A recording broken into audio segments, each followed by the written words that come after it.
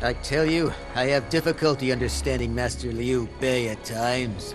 I wish a few of those big brutes surrounding him would knock some sense into his head. I understand. But nonetheless, I know, I know. That is why they all follow him. I do feel for you, though, Zhuge Liang.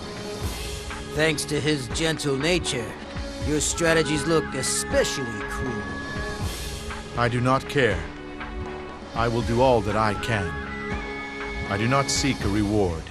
It is for Liu Bei to be loved, not me. Yes, you are right. That is true. Then let us do what is necessary to create the path for that gentleman, and help him change this harsh world of ours.